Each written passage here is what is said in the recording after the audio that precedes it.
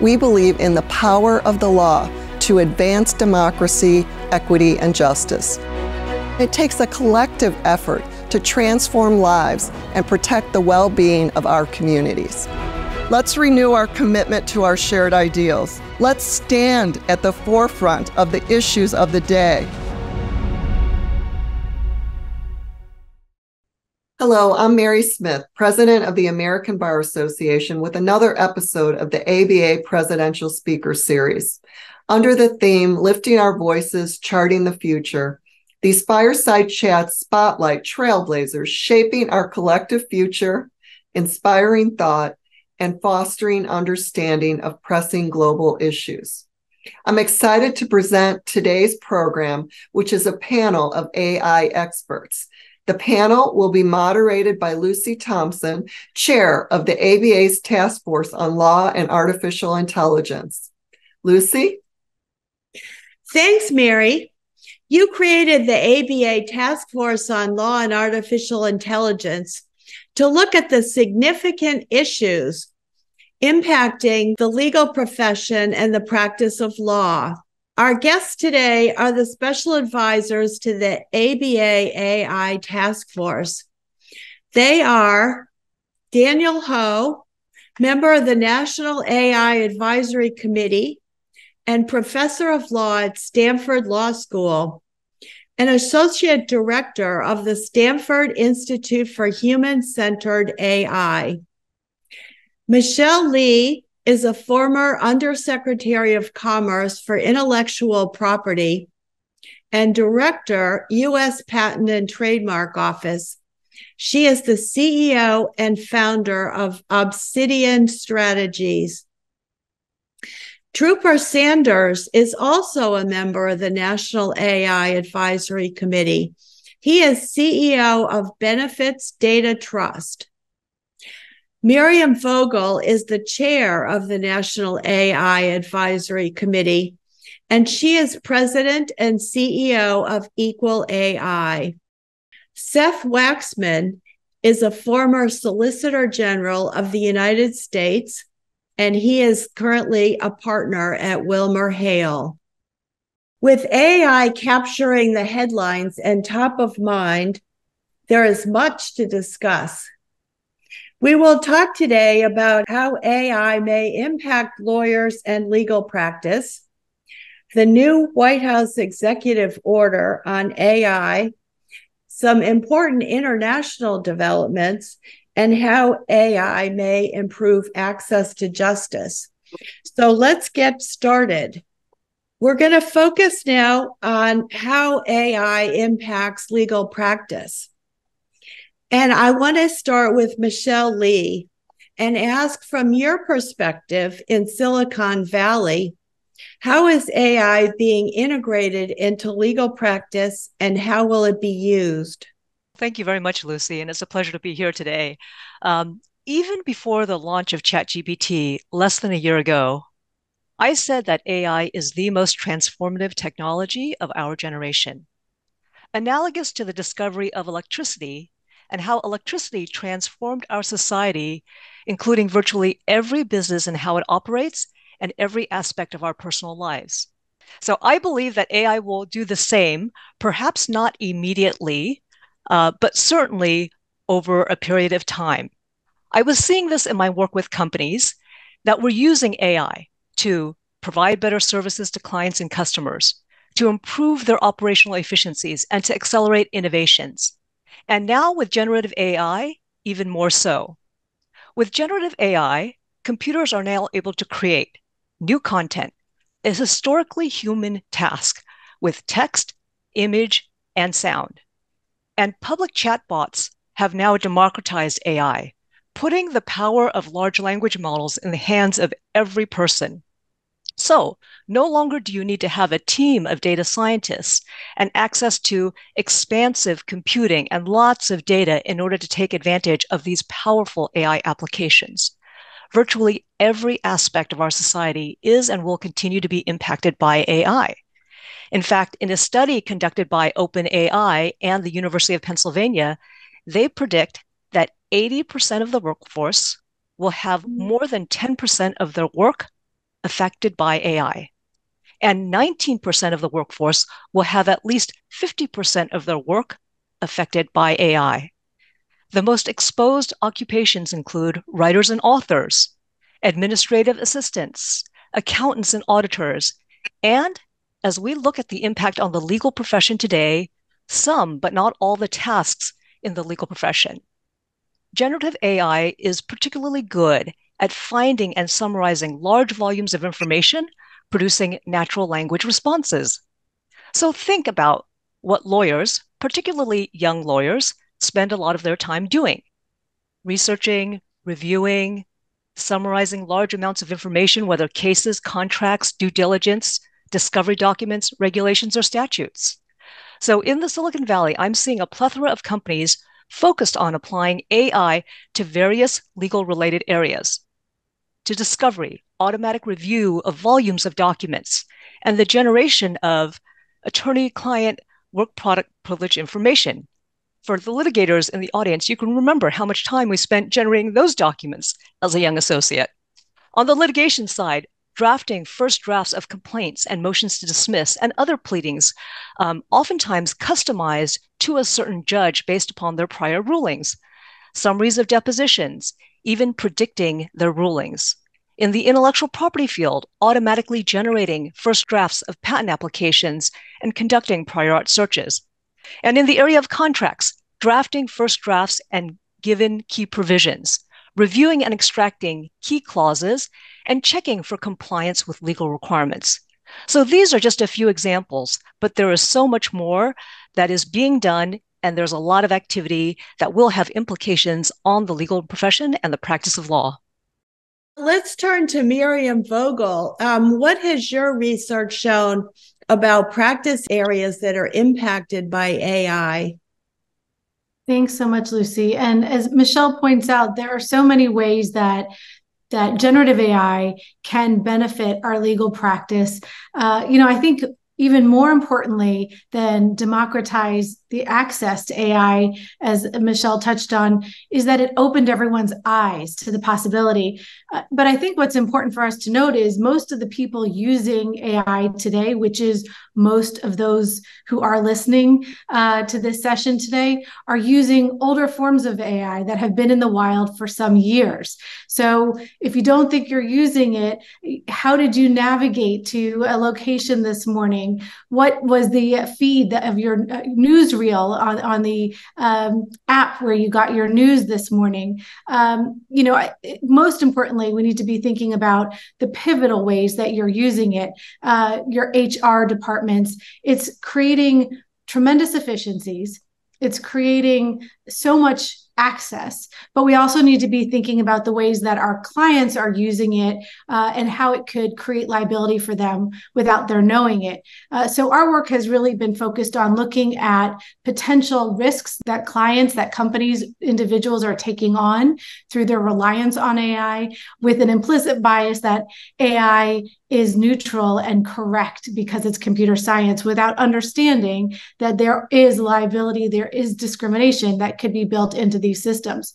And so when we think about the practice of law and AI, I am so glad we're having this conversation today so that we can touch on some of the ways that every lawyer needs to be making sure that not only their own use, but their clients' use to, uh, is, is legitimate, is, is lawful, if you're thinking about contract negotiations, what's a material breach, consumer protection laws, intellectual property, so many of the pieces that we're going to be touching on today are traditional laws on the books, already in use for many, many years that are implicated by the AI use that you and your client is are undertaking today.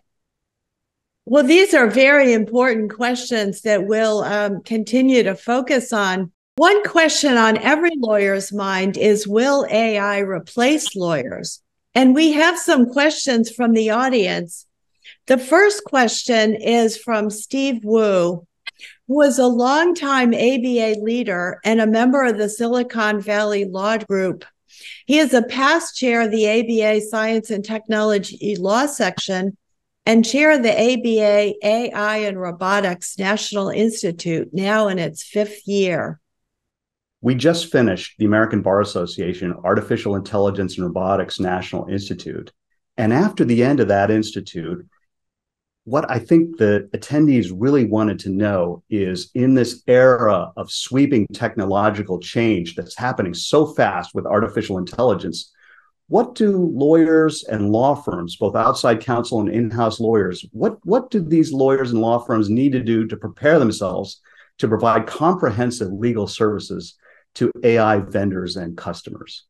Well, I think one of the important things for the customers of AI um, you know, be it a, a for-profit or nonprofit, particularly those who are exposed um, in different matters of public interest um, or in rights affecting areas, um, such as access to to government programs or or other things, um, is really considering the the current rules on the books about um, access and discrimination and other types of things, and then really understanding what are the implications that can either sharpen um, the the the risk um, or blunt it that that AI presents.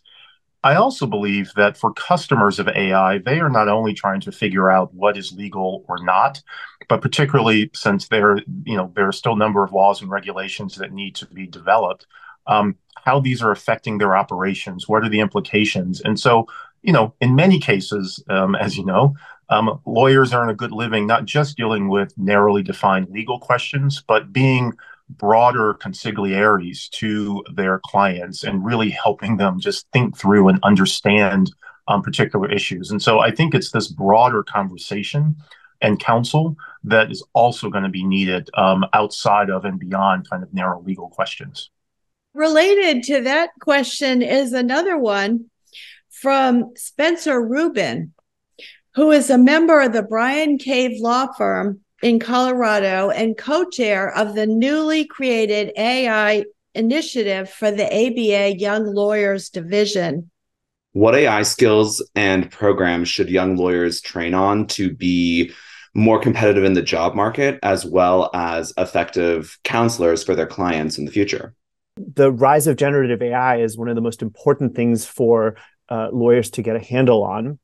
And so that includes understanding things like how do you do forms of what, are, what folks call prompt engineering to actually try to extract answers that are useful for the task that you're engaged in? One of the things that a number of law professors have started to do is to actually have ChatGPT generated exam uh, answers that then students have to correct, which really teaches folks what are some of the ways in which generative AI answers can actually be quite brittle and uh, wrong. And ultimately, the key to all of this is really for us to identify the areas where the rapid rise of generative AI will complement and not substitute human judgment and to understand what are the parts of the legal practice that are simply not feasible, that are the most complementary uh, to uh, forms of generative AI. Right now, uh, some of those areas are really about human judgment and legal reasoning uh, SCOTUSblog had a, a, a, very nice, simple example where they asked 50 questions about the Supreme Court. Uh, I think uh, ChatGPT got 21 of those uh, factually right, 26 confidently wrong. Uh, so there's a lot that we have to keep in mind uh, when we rely uh, on answers by these kinds of systems. It seems to me that you know the adoption, the widespread adoption of AI tools is going to require, and I'm I'm focused not just on, I know Spencer's question was about young lawyers and law students, but I think it equally applies to middle-aged lawyers or aged lawyers like me, perhaps even more so. It's going to require training. I think it should start at law schools on how to properly construct construct prompts or queries and how to evaluate any results. And I think Training is also going to be required on compliance with confidentiality concerns um, and considerations involving bias, uh, about which I know we're going to talk later on, and I'll have some other thoughts about. I, I think there is a need for practical in service classes or law school classes for lawyers that are centered around you know, technological and big data literacy, as well as the ability to actually practice using AI tools in a guided setting. a lot easier in law schools, particularly law schools that are affiliated with a university that has an electrical engineering program. Um, and the last thing I think going to like whose jobs are going to be eliminated and whose will be enhanced. I think particularly for law students and young lawyers, we need really realistic assessments of where there are going to be more opportunities for attorneys in the future and which practices, and Michelle hit on some of them, might see less of a legal need. So, Seth, you've suggested some important areas for the ABA and state and local bars to work on. So, Michelle Lee, you mentioned uh, the power of ChatGPT and generative AI and the new functionalities that apply. What are the IP implications for this new generative AI and large language models? When ChatGPT first launched, I thought this was amazing, incredibly powerful. But then, of course, as the former head of the US Patent and Trademark Office and advisor to the president on intellectual property issues, I thought, ooh, what about the intellectual property issues? And there are so many introduced by generative AI. Um, not surprisingly, um, the uh, developers of these large language models essentially crawled the entirety of the internet for content to train their models, petabytes worth of data. And the question is, of course, what, if any, intellectual property rights or licenses did they obtain in order to train the models that are producing the solutions that we are all amazed by? So we quickly saw uh, a bunch of lawsuits brought by IP owners, including Getty Images, for, of course, IP infringement. Now, that's just the issue of what rights did the creators of these large language models have in developing the models. Another unanswered question is who owns the resulting intellectual property rights? If, for example, I create an image using DALL-E, do I, as the person who entered the prompt that triggered the response, own the resulting intellectual property rights? And what about um, the company that created, trained, maintains and owns the AI system. Do they have any rights? Now, perhaps that's contractually uh, granted to the user of the system, but then what about the information that was used to train the AI system? What underlying rights might those individuals have? So, and of course, the last question, which is with the resulting work product, is it even eligible for protection? How much and to what degree? And what I will say is that the Copyright Office has said that it will not register works produced by a machine um, and only register works produced by a human. And similarly, on the patent side of things, if you're using one of these large language models and you invent something, what, if any, rights do you have to that? And the Patent Office, uh, affirmed by a ruling from the Federal Circuit, said that an inventor for patent purposes must be an individual i.e., a natural person. So, all the laws and regulations and policies um, will be re-examined. The Patent Office and Copyright Offices are uh, seeking input from the public on these issues. And an important role for the ABA and members of the bar is to really think about what are the laws, regulations, and policies we need to continue to incentivize the creativity and the innovation we all desire. Otherwise, if we don't, what will end up happening is we end up using that same body of content and we don't get new innovations and new expressions and creative works. So there are serious implications on the intellectual property front. Well, we look forward to working with you, Michelle, and the other special advisors on these very important issues. So, we're now going to turn to uh, two very important developments from the White House and the Office of Management and budget on AI. And on October 30th, the White House released an executive order on AI that directs action by private sector entities and governments on eight broad areas. And I'll just run through them very briefly. First is new standards for AI safety and security. Second is protecting Americans' privacy Third is advancing equity and civil rights. Fourth, standing up for consumers, patients, and students. Fifth is supporting workers. Sixth is promoting innovation and competition. Seventh is advancing American leadership abroad. And eighth, and finally, is ensuring responsible and effective government use of AI. And then on November 2nd, the Office of Management and Budget released implementation guidance following President Biden's executive order on AI.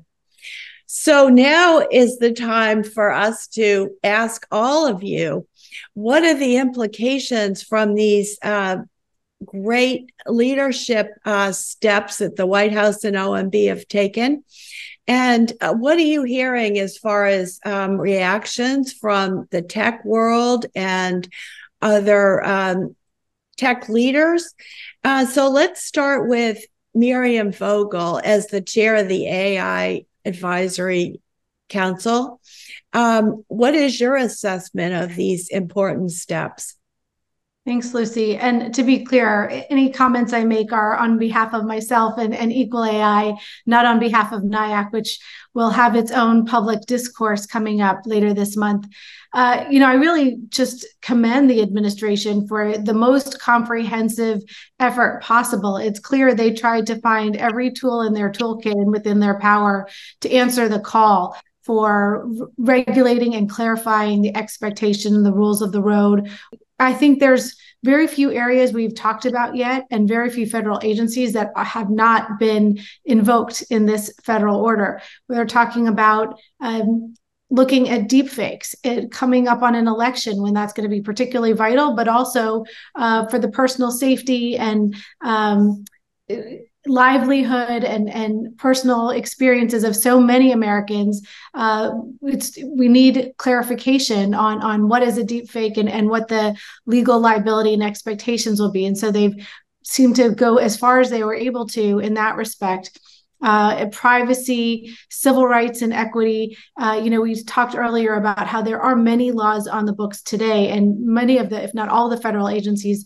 have already come out in the past few years talking about how the laws within their purview are applicable to AI, uh, particularly civil rights laws we saw a call out to the Department of Justice to continue and, and even double down on what they're doing in enforcement to ensure that that algorithmic bias is addressed to make sure that uh, ways that um, AI is violating the law in any way should not be a protection because it's happening with the support of an AI system as opposed to a person.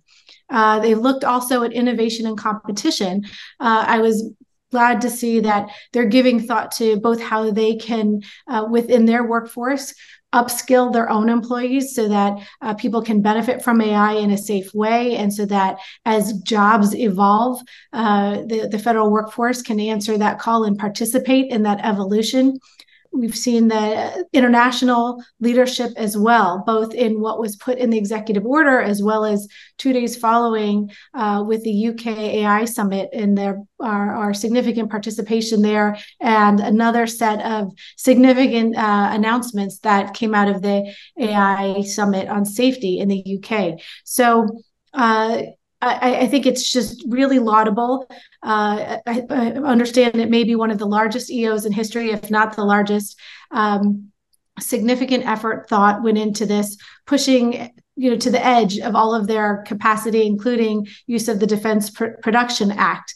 Uh, and I think that. Um, there's a lot that will need to happen. I'm glad the OMB uh, gave the operationalizing uh, document through its guidance. Uh, it'll be really instructive to see how all the different departments answer the calls within the uh, EO for the task forces that need to be set up within HHS, Education Department, and others, um, where they have not had as significant prominent actions to date and, and certainly need to. And so that I think will be really important developments.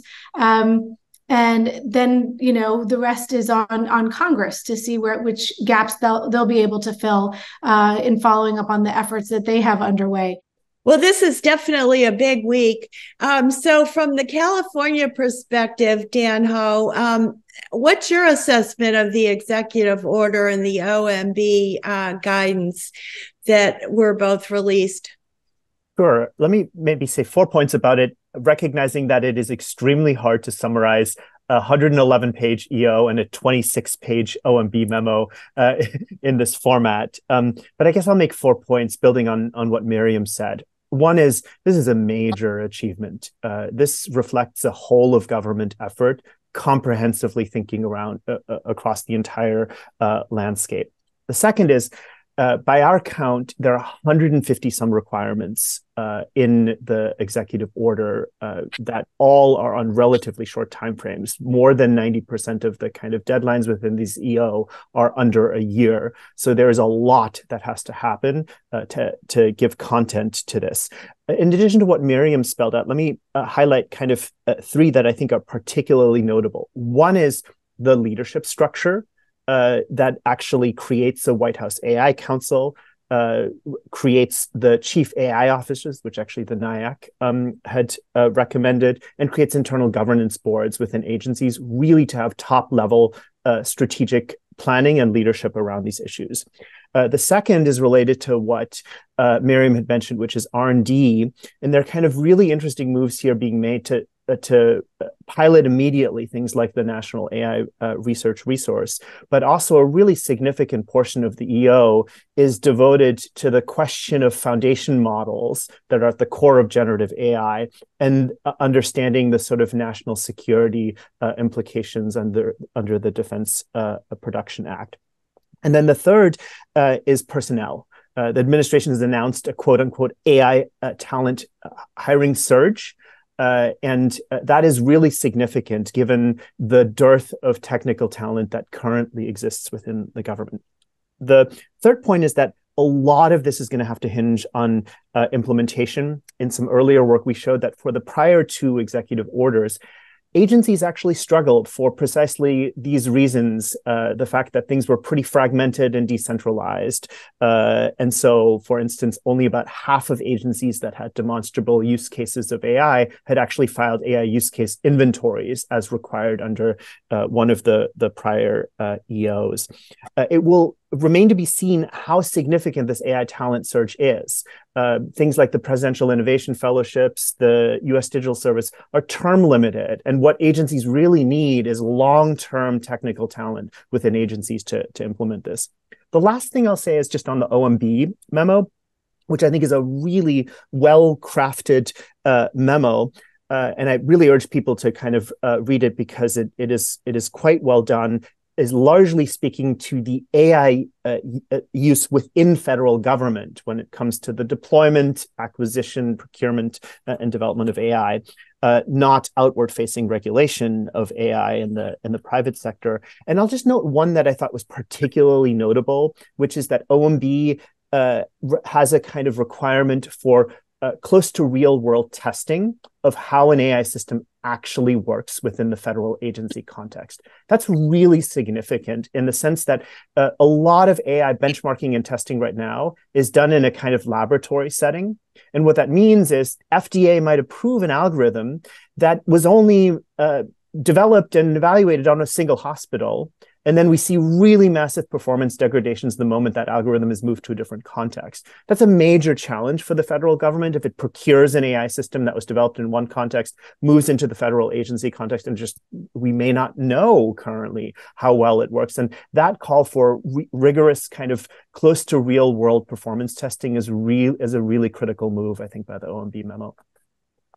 Well, thanks for highlighting these very important aspects. Um, Seth Waxman is a former very high level um, Justice Department leader. Um, what do you see in the executive order and OMB guidance uh, that's important for people to understand?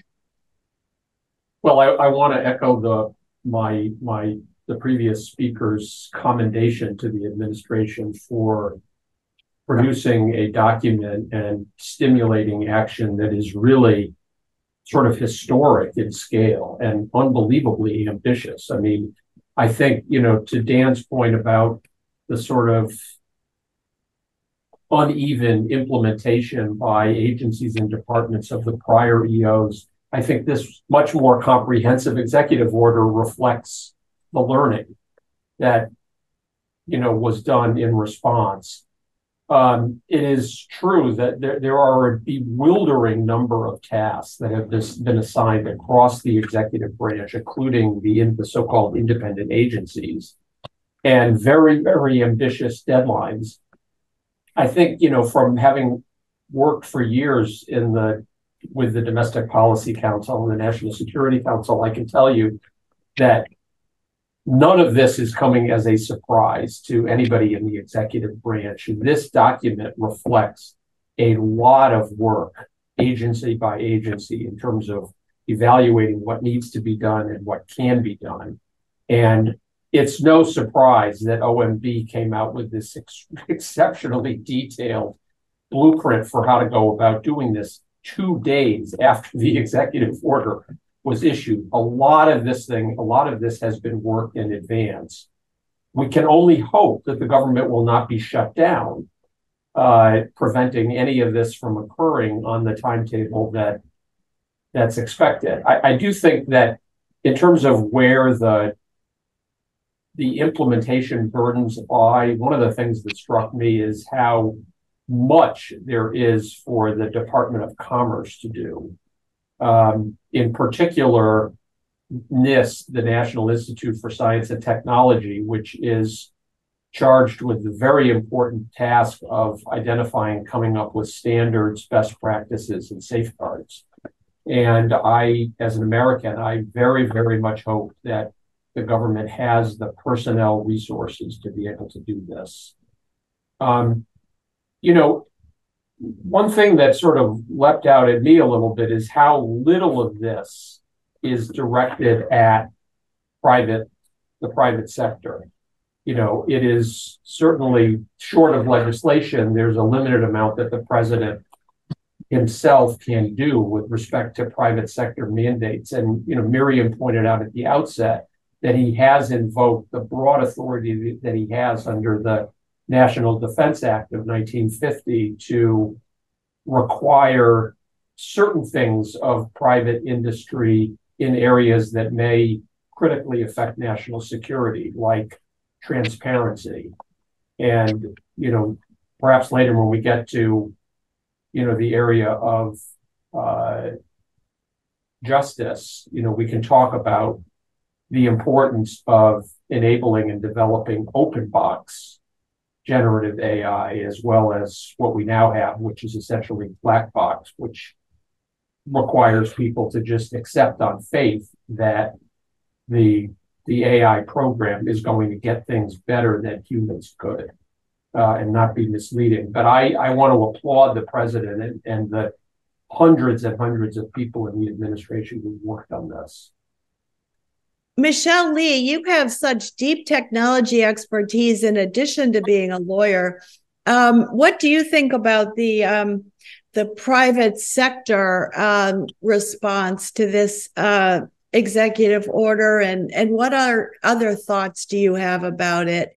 You know, having led a governmental agency to the point that Seth raised, uh, the amount of work that the agencies put into and the departments putting forth this executive order is extraordinary. And I like the, the president's leadership on this because it really provides the impetus for every relevant department and agency within the government to look deeply within its organization to find the opportunities where they can use AI to enhance their mission and the delivery of their services to the American public while also mitigating the risks that are posed to the government and to our society. So that nationwide impetus, I mean, it's so broad reaching, is the absolute right thing because when you're reading, leading a department or you're leading a governmental agency, you are going to look long, deep, and hard to find those opportunities and to minimize those risks. And moreover, you have short deadlines. So it's really, I think, the right step for our country to um, the, the, the, the, action items launched here will, will lead to good outcome. And it's thoughtful. From the technology side of things, the things that they ask the governmental agencies to focus on, things like encouraging the application of the NIST AI risk management framework. That's common sense. Um, also, encouraging red teaming, where for your systems, your AI systems, you're trying to break them you're testing their vulnerabilities so that hopefully you find the vulnerabilities before those with malicious intent find the vulnerabilities. So, in a number of ways, it's very thoughtful, it's comprehensive, and it will lead our country to a better place. The implications on the private sector, I think, are much less. Um, there's a lot of um, study, proposed guidelines, proposed best practices hopefully the private sector will you know take uh, an active role in the crafting of those best practices that they will then uh, follow on to sign on to and abide by. There is one other noteworthy point in the EO and that does require developers to notify the us government uh, if national security is implicated when training AI systems and to share safety test results for new AI models when the computational size exceeds a certain threshold. And that's a surprising move, uh, invoking, uh, as the others have referred to, the Defense Production Act, typically uh, reserved for times of national emergency. But I think this administration views AI as such a strategic opportunity and potential vulnerability that they they are treating it you know, in this manner when it pertains to national security with a very heightened level of scrutiny. So that was, I think, particularly noteworthy. Trooper Sanders, um, we want to know what you think of the executive order. I think the, the point about that this is focused on government and not the private sector is important. Um, and I also think that as a signaling device, you know, the, the, the government is an important customer and market. And uh, for those either in, in large legacy companies or those with the startup glimmer in their eyes, um, you know, to be able to tap the public sector, be it federal, or I also think it's significant that the executive order touches on AI and public benefits, um, which are uh, funded in many cases at the federal level, but administered at the state and county level. So i would be curious to see how this will affect um, in sending market uh, signals. Finally, I do think that the the uh, public comment window for the um, OMB uh, uh, memo that went out is is a real important opportunity for communities and sectors who are um, concerned about being affected by AI um, and who have a public interest in in um, how the government uses AI and more broadly. Um, this is a real opportunity to make voices heard and do it in a very thoughtful and deep way and to put issues of concern to critical communities on the table um, um, through through this process. And and I'll just finally just say this comment part is a really um, is a place where you could use lawyers and those who know how to to write and think in such rigorous ways. Um, so there's a great public interest opportunity for lawyers to help um, uh, affected parties make their voices heard. Well, thank you, Trooper. There's so many developments this month and so little time to talk about them, but we don't want to forget the um, October 30th um, announcement by the G7 country leaders that adopted the international guiding principles on AI and a voluntary code of conduct for AI developers.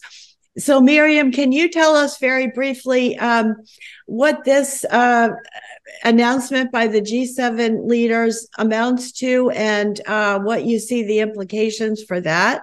I think it's a really important development. I think, you know, while we're looking to the US government to clarify uh, our legal practice and expectations, uh, particularly because it's the home to so many of the technology companies, we have to always remember that uh, AI does not operate within borders, and and we need to be mindful of uh, the the voluntary guidelines and, and non-voluntary guidelines that need to be put into place across the international community. And so, uh, again, as you say, a really significant development where we have guiding principles for those who are developing AI to make sure there's alignment on what does it mean to have responsible AI? How do we make sure that we trust AI systems and that they deserve our trust? And again, that's something that really needs to happen across international borders as is happening um, or happened in the UK this week with the safety summit, um, as is happening with the Hiroshima process that you're asking about now with the guiding principles. Um, and that are based on the OECD AI principles, which uh, really was a first significant st- step forward where uh, all partner uh, countries uh, and organizations came together to decide on, on what are good AI principles. And that happened. Um, few years ago, uh, and that was the first of its kind opportunity where um, you know people did the hard work of aligning on what is even a, a good AI principle. And we've seen that used in a bunch of different ways, uh, not only in the Hiroshima process, uh, but also in, our own um, NIST. We referenced earlier the uh, NIST and the Herculean uh, tasks on their plate. Well, they've had some Herculean tasks to date, and, and one is the framework that they've released that I hope everybody here is familiar with and using in some way. Um, but the definition of AI. You know, as you recall, if anyone who's worked in AI for a few years, uh, we used to spend, you know, an entire discussion just talking about what is an AI system. And OECD took a first step forward in explaining what that was. NIST took it uh, the next step forward in, in updating the definition based on the OECD definition getting back to that original question, I thought that thoughtful question on, on what do we need to make sure that our young lawyers, our law students, and as Seth points out, uh, our lawyers of all ages are mindful of is that we need to reframe how we're thinking about so many of our lanes because we can't just operate in a singular lane. Uh, I think a lot of what we as lawyers need to do is understand that. Um, the AI practice is not for tech lawyers, it's for all of us. It will touch all of our industries. And likewise, when we're talking about law, we have to keep our eye abroad as well and, and be thinking about uh, what is happening with the Hiroshima process, with the, the code of conduct that was just released, uh, with the EU AI Act that's coming down the pipe, um, with, with you know uh, so many of these important milestone discussions and decisions that that are coming out of these international organizations uh, that should impact our best practices. And i know we'll talk more about the soft law use but uh, i think that needs to be much more how we think about uh, how we advise clients going forward because these questions will not all be answered as quickly as the ai is being built and so understanding what the best practices are is a significant development. And I am grateful we now have this alignment on the code of conduct uh, from the G7 leaders that we can uh, use to advise our clients and ourselves on some of the best practices. Michelle Lee, um, Miriam mentioned the EU AI Act, and we don't want to um, forget that uh, this act is working its way through um, to become final. Um, what are the implications there from the EU taking a leadership role in this area? Yeah, no, the EU AI Act is noteworthy because it is, Lucy, one of the most developed proposals to regulate AI, uh, looking to be released uh, uh, at the end of the year. Um, and really, under the AI Act, what they do is they classify AI systems according to the risk they pose to users. Um, the AI application will face more regulatory scrutiny the higher the risk it presents, and less regulation the lower the risk. So they've identified five categories, uh, including one category, which is unacceptable risk.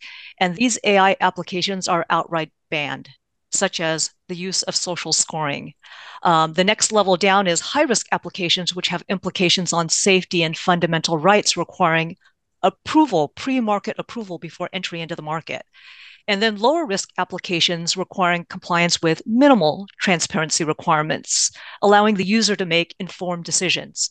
Um, and the EU AI Act also added a provision on generative AI applications that they comply with the following transparency requirements, which is disclosure that the content was generated by AI, also designing the models to prevent it from generating illegal content. It'll be interesting to see how companies comply with that.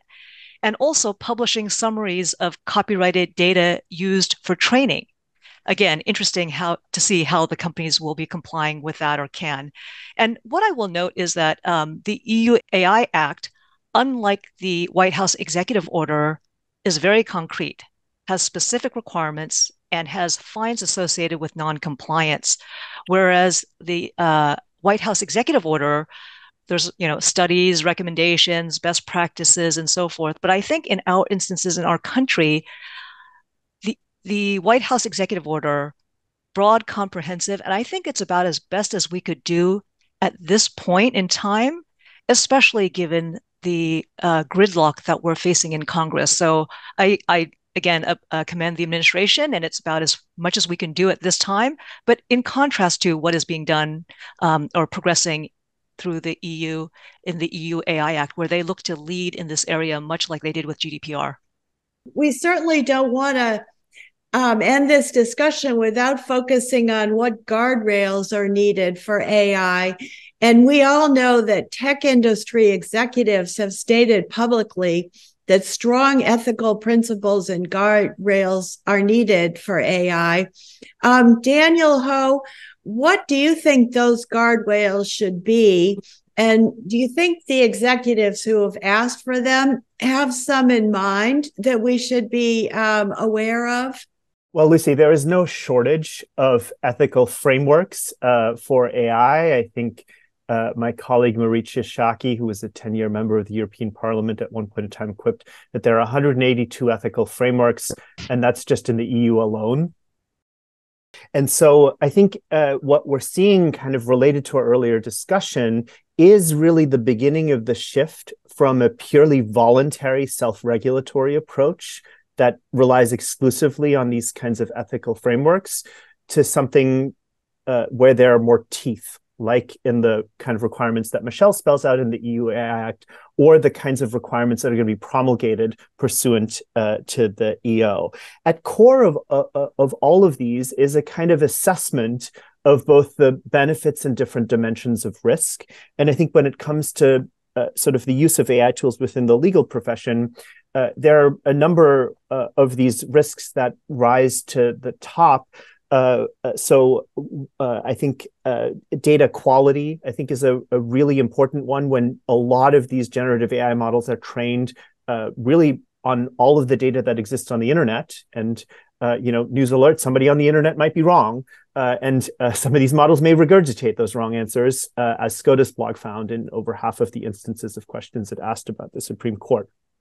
Uh, uh, similarly, there are real concerns about uh, bias and, and disparity uh, that can be propagated uh, through these models. One that I don't think uh, folks know enough about, as is illustrated by the gentleman who became known through the New York Times headline as the ChatGPT lawyer, is the high rate of what folks call hallucinations in generative AI output.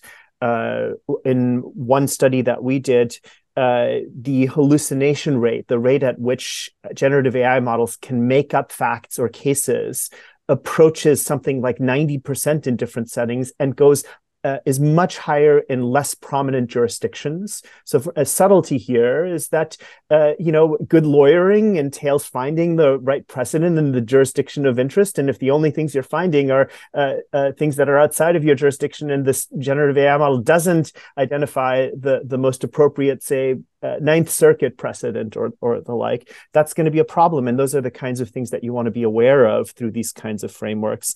And then I think, as Seth had mentioned, confidentiality. I think there are a lot of folks who probably don't recognize that depending on the terms of service, what you're pushing forward into a kind of web-based query uh, may be stored and trained on by a company um, and being clear-headed about what confidential information you should and should not uh, be able to put on uh, uh into a prompt uh, on what kind of a platform is i think going to be really critical for uh, data pr- protection client confidentiality and the like we had one research team that was able to extract for instance social security numbers by you know clever forms of prompt engineering uh, and uh, that is obviously not the kind of thing you would want to have it happen to your client.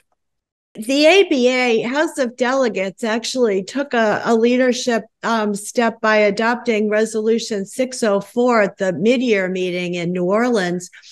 And that resolution um, has guardrails for developers and calling for human oversight and control, accountability, and transparency with AI. Um, does anyone want to add any other uh, ideas for guardrails that uh, should be considered? I will just add one. Um, I think, in addition to that, it is human engagement and involvement in the development of AI use cases, in developing how AI is being used and how it's being deployed. Um, and, and particularly when we're, we're talking about areas of concern to the public interest, or frankly, a lot of areas um, that lawyers, clients are, are working on are in sensitive areas where you really need to bring in the voice and expertise and perspective of people who are most affected and also by the experts who are working. So we talked about the blending, the, the uh, AI can supplement and augment human capabilities. Well, you need to make sure that you're bringing in the frontline workers and experts who are involved in that work to ensure um, a better use of, of AI. The accuracy, safety, and reliability of these AI legal applications, um, you know, wh- are these AI systems going to need to be tested before being allowed to go online? Just as an attorney has to take a test before being admitted to a bar. And mm. if so, how and by whom? And also, what obligations should be placed on large language models for retraining and updates. I know as a practitioner in the state of California, I have to undergo periodic MCLE training. So what about the AI models that are um, giving, you know, legal answers? And really, again, addressed very well in, I think, ABA's Resolution 604, how much does the legal practitioner have to provide in terms of review of the output of these AI systems and how much transparency and explainability? And I think an important point is what, if any, disclosure should be provided to clients about the work generated by AI and when should that be provided? Do you have to disclose to your client uh, that you're going to be using these tools before the client retains you? Or is it at the time of the provision? I'm going to be using this system. Is that okay with you? And give them the choice. Or is it after the fact? Do you have to put that in a contract? Do you have to put that in writing? Is it verbal? Do you have to disclose it on your bill? So I think these are all very interesting questions in terms of guardrails and protections for the client and their awareness of what they're getting, what they're paying for, uh, that the legal profession will have to address that gives us some important things to work on. Actually, an interesting proposal um, by the UN Secretary General Antonio Guterres in June focused on um, the creation of an international AI watchdog body like the Atomic Energy Agency. Um, does anybody have an idea about whether uh, this type of international uh, body to review AI um, applications and capabilities makes any sense? I would say that that I think it's it's an interesting proposal, just given the, the both the complexity of AI and its global nature. I think on the positive side, it can help potentially develop certain norms um, um, and and things that are outside of formal law and hard law that can help guide. I, I do think anytime an internet new international institution the idea is being stood up, there's a lot of hard hard conversations that need to be had um, about um, uh, who dominates, who's at the table, how the priorities are set, and what matters. And I think we're really seeing that even this week in the the with the United Kingdom's um, summit uh, on AI, where there's there is a, a heavy focus on this uh, interest in the so-called existential risks of AI. Um, but there's a counter um, to that, that we have known a lot of more near and present dangers and concerns about AI for years um, that that you know are potentially being ignored and have been ignored historically. And so I think we really have to ensure that the agenda setting um, is as equitable um, as possible this brings us to another very important priority the ABA and um, people globally, which is how can AI improve access to justice? Trooper, what are your thoughts about that question? You know, and I'll, I'll defer to my legal practitioner uh, um, colleagues here, but I think there there's an extraordinary opportunity um, to really open up the pathways, um, both extending, uh, giving people who need um, good representation and, and, and opportunities access, but also I'm very curious about how this can help scale the capabilities of lawyers and legal practitioners um, and others. Um, I do think there is one sort of flashing yellow when talking about AI and access to justice that I've seen come up in other contexts around public um, interest issues, and that we are maintaining a level and frankly raising the bar on quality and that we don't conflate introducing AI as providing cut rate uh, uh, non-grade A um, services and support, but use it to raise the bar, but scale it and make it more accessible. Well, thanks, Dan Ho. Can you add to um, Trooper's observations about improving access to justice? I, think President Carter, at one point of time, I think in a speech, maybe to the ABA, said, uh, "We as a country are over-lawyered and underrepresented." And my colleague Deborah Rhode uh, followed up on that uh, a number of just a number of years ago and said this this situation has not changed. Uh, so there is a real potential here uh, with the rise of these kinds of systems to actually enable uh, improved representation for a wide range of individuals who are currently not able to find a lawyer, uh, who are uh, uh, who can't afford a, a, lawyer if they're able to find them, and, and and the like. There are all sorts of tasks like document review, contract revision, drafting of standard form contracts uh, that are really difficult for a large number uh, of Americans and pose these really significant access to justice issues. The second point I want to make here, though, I think builds a little bit on, on some of what Trooper was saying, which is uh, this, this future is in many ways uncertain.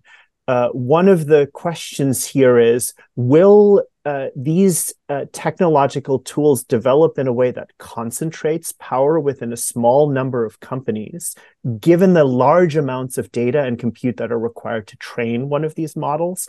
Or will we see a more open uh, kind of approach that as a result levels uh, some of these uh, barriers uh, uh, uh, to access to, to justice. That comes up, for instance, in the kinds of proposals for uh, having licensing models. And, and the idea here is that some of these large models may pose risks. Therefore, the federal government should set up a scheme by which we issue a license to operate a large language model or a generative AI model.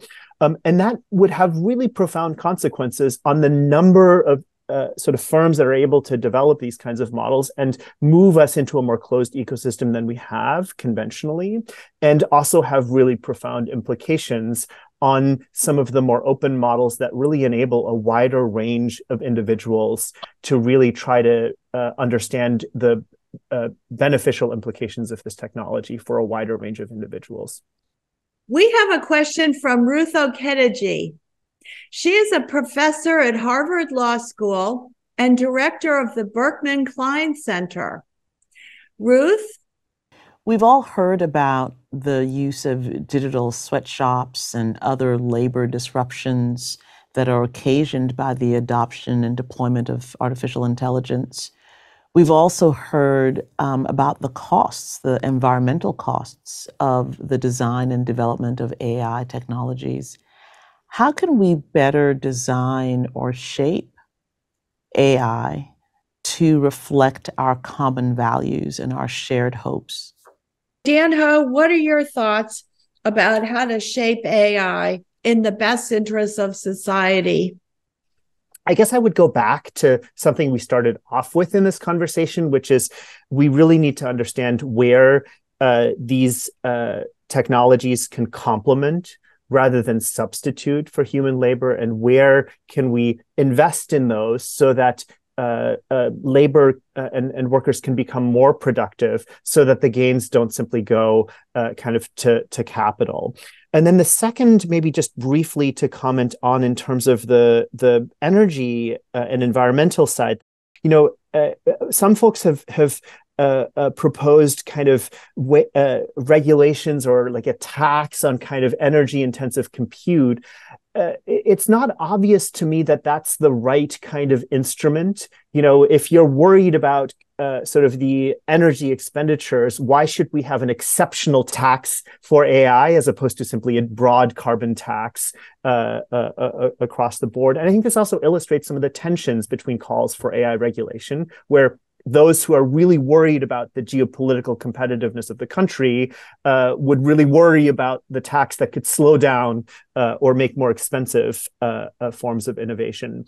Ultimately, one proposal I'm quite favorably inclined towards is the National AI Research Resource, which was introduced uh, in a bipartisan way through the Create AI Act, which aims to provide computing and data resources to a broader set of individuals to democratize access uh, to AI this question around um, um, labor and, and dignity and, and, our, our, sort of social standards raises around AI raises an important issue, um, and that is that really there are many concerns about AI, where actually AI is second chair. The first chair is the long-standing issue around dignity, quality of work, compensation, labor protections, et cetera. And I think one of the important things to to to keep in mind is in many ways, AI is going to um, allow us to scale our strengths and our faults as a society. So the risks around uh, if we had proper labor standards generally, that is a way of addressing the labor concerns around AI. If we ha- if we were tackling issues around bias and equity generally, it would blunt the effects of bias that AI introduces. And so I think for lawyers who may not consider themselves, you know, uh, connected to AI, if you work on a broad range of subjects that touch the public interest, you are very much critical to the future of AI and its responsible use and deployment.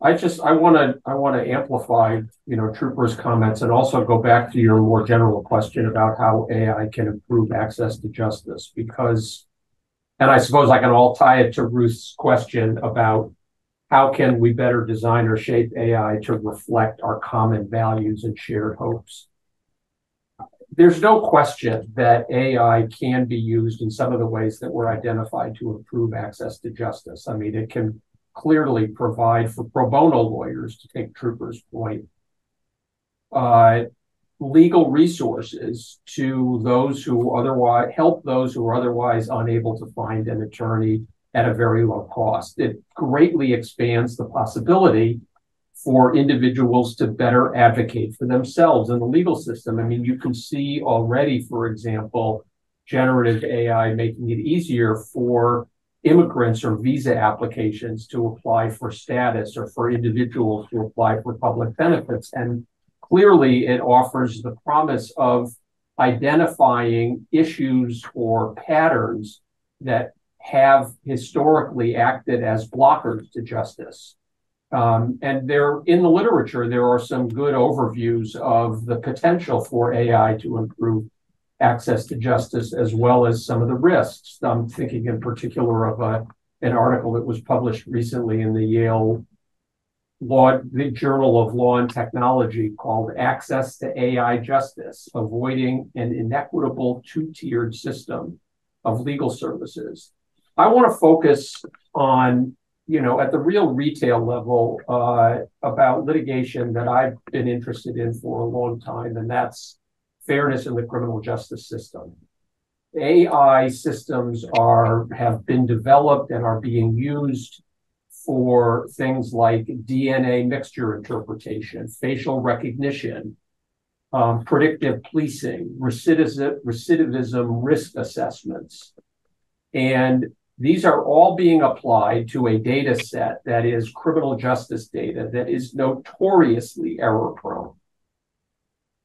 And courts and defendants are being confronted with the use of the, the results of these black box AI systems as saying, we have an AI program that suggests the following about the DNA or the following about um, uh, recidivism risk assessments. And it's terribly important that those tools be evaluated and analyzed and presented in a manner in which they can be evaluated and analyzed so that some of the results that we've seen that have shown that the application of these programs has greatly introduced, has greatly increased the error rate um, doesn't happen. There's a, there's a forthcoming article that uh, I think in the Cornell Law Review may be out already by Cynthia Rudin and Brandon Garrett about Glassbox, what they call Glassbox AI, which is which takes on directly from the perspective of uh, an electrical engineer specializing in this stuff and uh, a very prominent, thoughtful lawyer.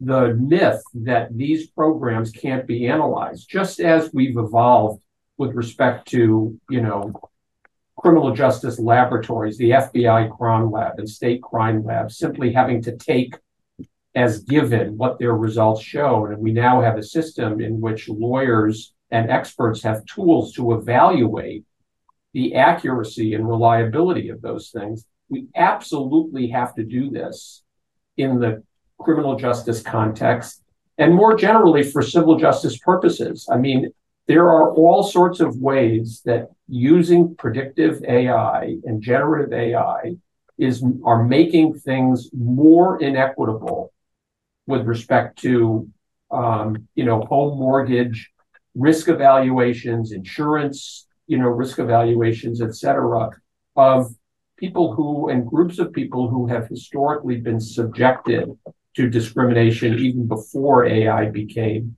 an issue. I mean, I, I remember reading a couple of years ago uh, a report about the ethics of artificial intelligence that UNESCO, of all bodies, put out.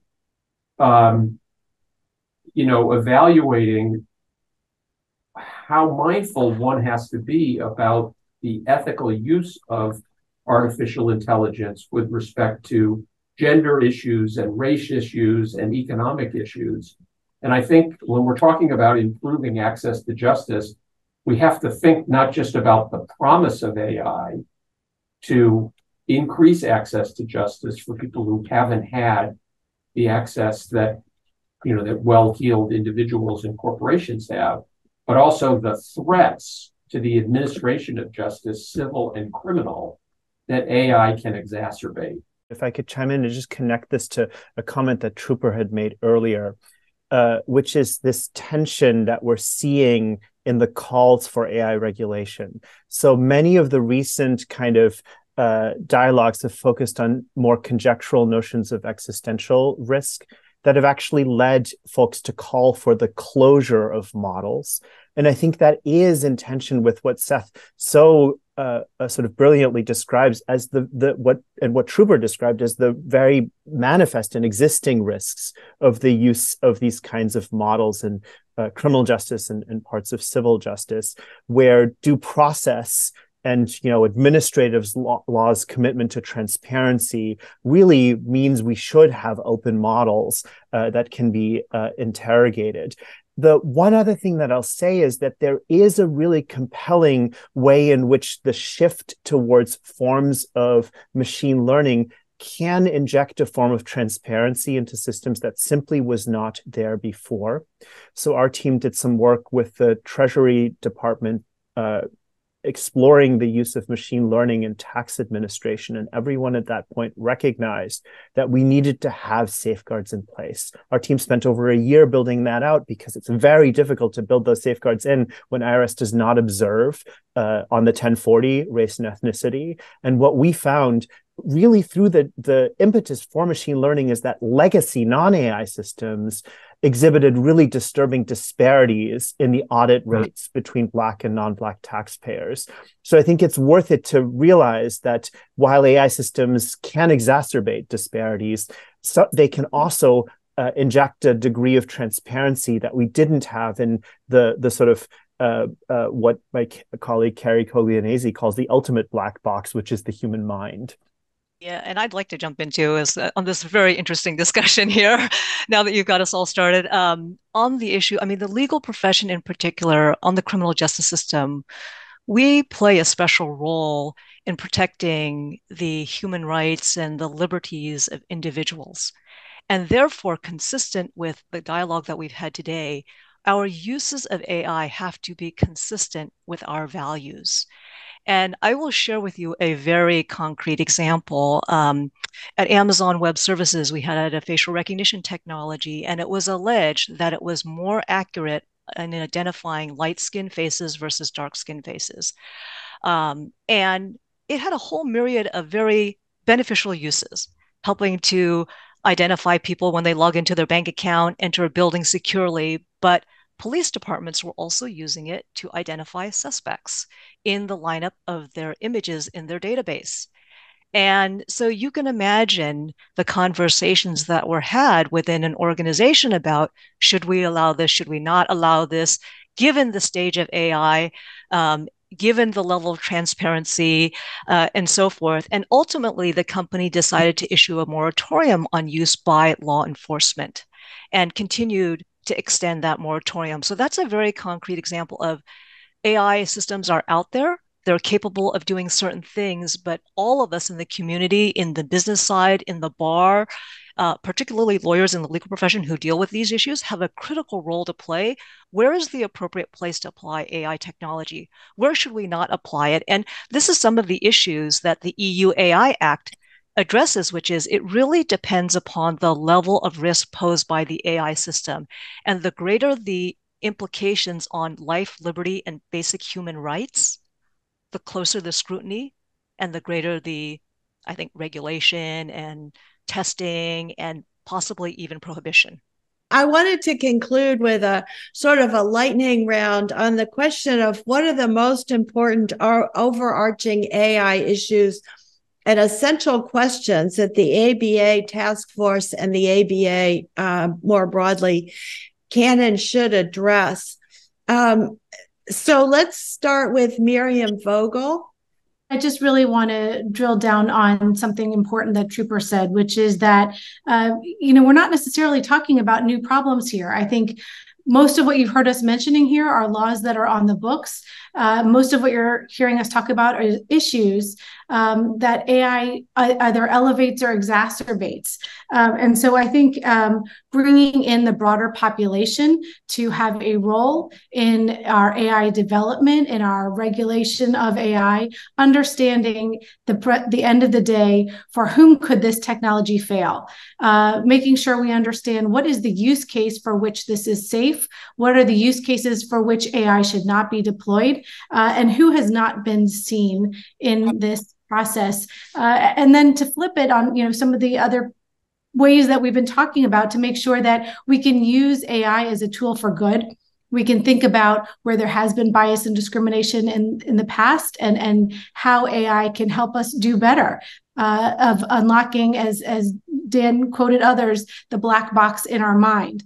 Um, so I think this is an opportunity for us to see the reflection that AI paints of our society for its flaws and benefits and, and understand that we all have a role to play. We need to step a little bit outside of our lane and make sure that we normalize what we like to call good AI hygiene, uh, that we become uh, conversant in what AI is, and we are thinking very intentionally about uh, how we can use it to make all of us do better and, and participate in a broader ecosystem. Let's turn to Seth Waxman next. I have to say, I, I I don't think I could say it as well as, much less better than Miriam just did. I mean, I, I think we've gone over you know, what the ABA and other legal institutions can do to prepare members of our profession to be good purveyors, consumers, and watchdogs of AI as it evolves to, you know, as Michelle put it at the outset, play a revolutionary transformational role in the lives of all of us. Now let's turn to Michelle Lee. Yeah, no, not a lot to add beyond what my colleagues have said, I'll just make two points. One is that the ABA um, has a critical role to play in sharing information with those in the bar. So making sure that our practitioners are, as these tools, these AI systems come out, are not giving too much deference to them, understanding the limitations of these things. I mean, the generative AI large language models give probabilistic answers not deterministic answers. So if we can keep that all in mind, that provides context by w- and the level of deference that we give to the system. So that's number one. And then number two is given that point, let's be really deliberate about where we require human oversight in the output of AI systems. How much, when, and um, I think we will help mitigate many of the harms that could result with a whole variety of advantages that could be realized for the profession and for our clients. Now we'll turn to Trooper Sanders. So I think the, the ABA and its members can really bridge the worlds of code and prose. And, you know, by definition, the law is about a lot of prose. And there are a few lawyers who, by design and technology and intellectual property, might bring in the area of code.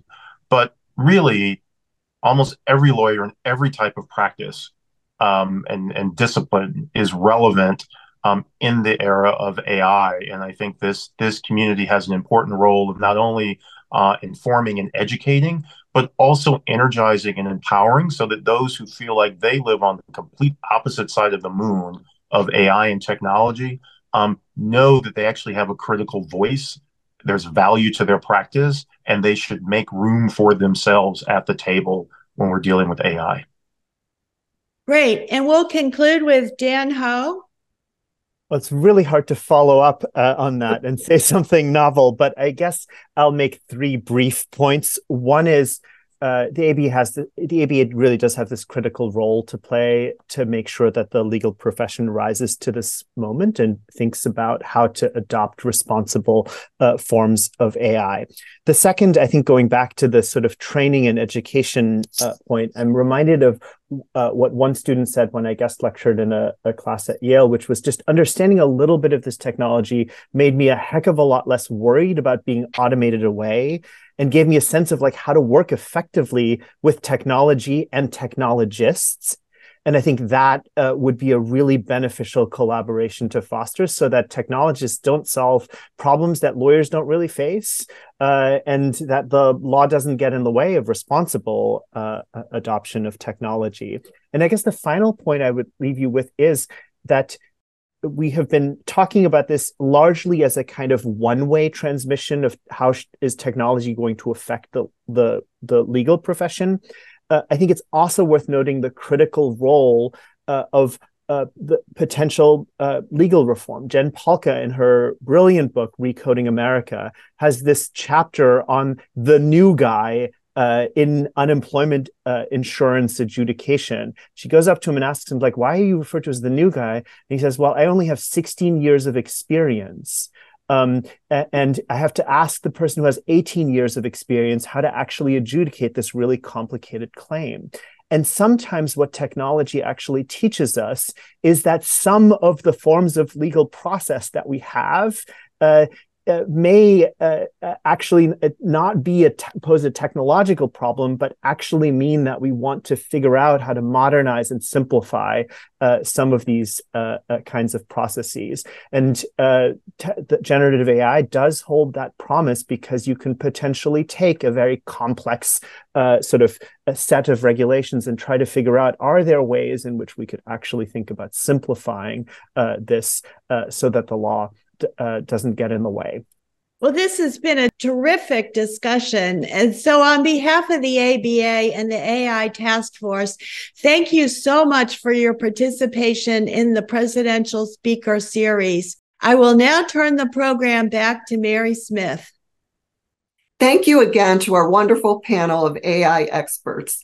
And stay tuned for our next ABA Presidential Speaker Series with Academy Award winning director Martin Scorsese and Chief Jeffrey Standing Bear, Principal Chief of the Osage Nation. American Bar Foundation President Jimmy Goodman and I will be talking with Mr. Scorsese about his new film, Killers of the Flower Moon. Mark your calendars for Wednesday, November 15th. Consider joining the ABA at ambar.org slash membership. Thanks again for joining us.